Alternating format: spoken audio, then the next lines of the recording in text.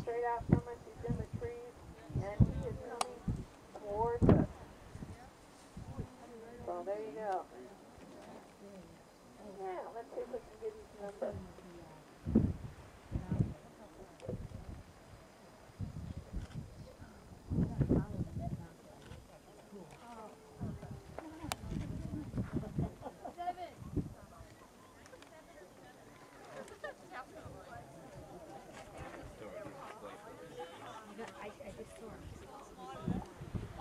Yeah, it was 87.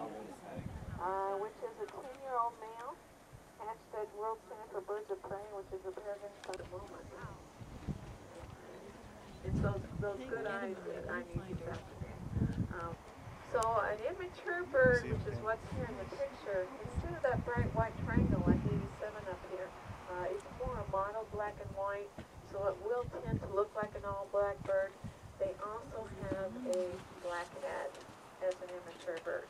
So here again, that's one of the reasons they get confused with turkey red. Well, we should get the program down here. Uh, they really like this area here uh, because these birds are looking for activity. That's how they find those uh, dead animals. And if you think about it, especially in the summertime, there's a lot of activity right along here. Uh, so that they're curious birds, they're intelligent, so that draws them in. And then uh, just to the west here, we have the Bright Angel Trail. And they have us, human beings. Uh, we seem to be involved with a lot of the endangered species on the planet, and condors are no different. Uh, there was a time out here in the west where we were trying to wipe out all the top predators. The wolves, the coyotes, the bears, the hawks, the eagles. Did die from lead poisoning as well, which we'll get back to. Yeah, I think they just might, I think uh, they might come in at least a couple. You can see they're very social birds. They do like hanging out together. So if anybody can get, uh, if they get down, lay one egg every other year.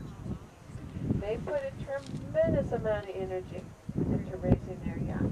Where we as human beings will raise two, three, four, five at a time. They stick to raising that one chick until it gets out on its own. And then they'll start all over again and raise that next chick. So that's which way to look, do you?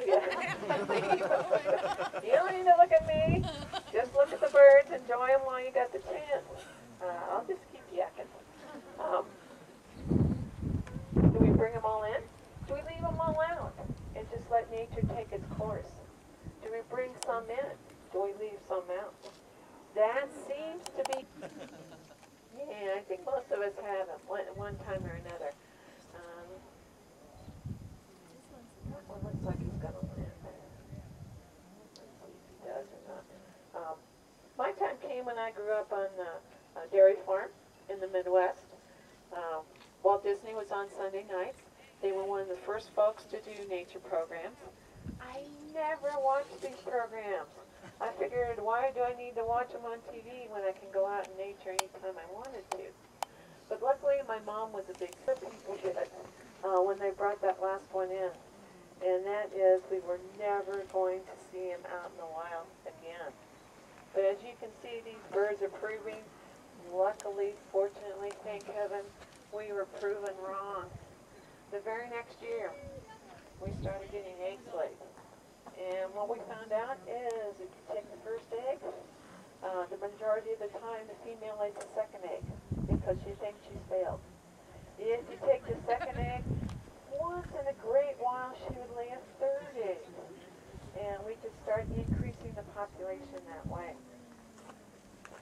So, boy, they're just really hanging out there today. Um, what we would do is put the eggs in the incubator. Once they hatched, we would move them to an incubator, the same type of incubator that we use in hospitals.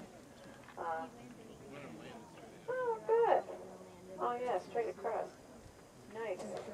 Yeah. So that one is an immature. He's showing off. Yeah. Uh, I think in some respects, in some respects, they kind of of kids and how kids cam, with a camera. Uh, I, I get the same impression with these guys. Uh, uh, I'm sure they can hear these clicking that puts it on. They can hear you. Oh, You can see them a lot of times, they'll circle around and give you a second chance. what makes a noise when they when they fly? 'Cause we have one buzz us. Uh, you can hear the wind, uh, go, uh, um, you can't hear that sound going through their feathers. You bet. Uh, there's an author in one of the books that says, he calls it the wing song, uh, the condor. It's a great show today. Oh. So they take the chicks once the eggs hatch, huh? Number seven, all right. If you see the number, remember it. Meet me up by the dominance going on this afternoon. Um, I'll tell you a little bit more about that particular bird. Uh, but uh, once they hatch, we put them in the incubator, same type of incubator that we use in hospitals for our own babies. And the only light is in the incubator itself. Uh, what we do with these incubators, we, we set them in a dark room. We surround them with a dark curtain, and to me, they look, it looks a lot like an old-fashioned election booth. And there's even carpeting on the floor. So when the folks go into these rooms, they're not allowed to make any noise whatsoever, and they will play a tape of natural sounds that the bird would normally be hearing. The reason they go through all this trouble is something that scientists call imprinting, where during a very critical period of time, what a bird or an animal sees is what they think they are. Am I out of the way of the camera? I hope so. Um,